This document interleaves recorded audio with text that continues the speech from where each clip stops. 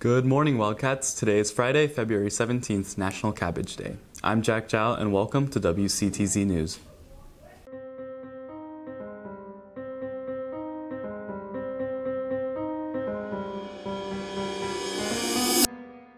Today's episode is sponsored by Honor Murphy Physical Therapy. Get back out there. The NHS is currently collecting items to support high school students who no longer receive foster care support due to their age.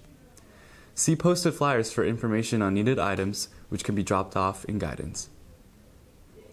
The junior class is currently selling Match-O-Matics during Power Hour in the Commons for $5. Now to Cameron with a story on the ban of the generation. Colleges like the University of Auburn and University of Georgia have banned the use of TikTok on their campus networks and their devices. Sources say the ban stemmed from security concerns regarding the app's China based parent company ByteDance.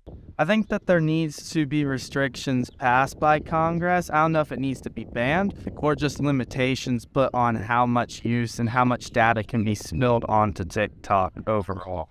Students on campus have mixed opinions on whether or not it should be banned. I'm annoyed that TikTok's getting banned on college campuses because next year I'm going to be going to college. So I do spend a lot of my time on TikTok and I absolutely love going on TikTok. So it's really annoying that I might not have it next year at college.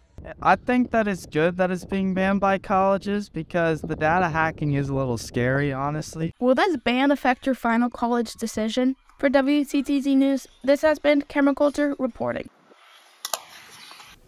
Thank you, Cameron. Today's episode of WCTZ News is also sponsored by Slaughter Insurance. Insurance for the community from a member of the community. The Spanish Honor Society will be holding their monthly meeting on Wednesday during Power Hour A in room 2100. The Omega Omicron chapter of the Zeta Phi Beta sorority has scholarships available starting at $500 for all senior girls. Applications are due March 10th. For more information, scan the QR code on screen. The Beta Mu chapter of the Alpha Delta Kappa sorority also has a $500 scholarship available for women in education. Applications are due March 3rd. For more information, see college specialist Angela Felbush in the Media Center. Now for the alma mater.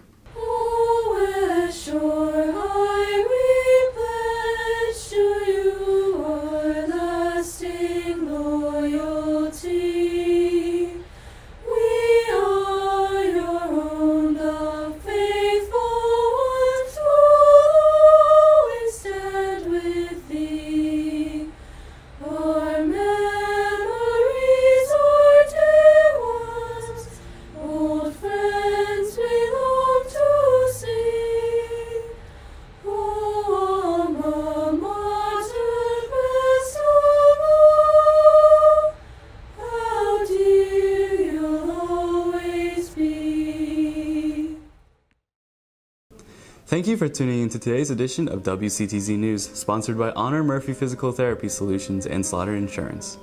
This has been Jack Chow, and have a wonderful day, Wildcats.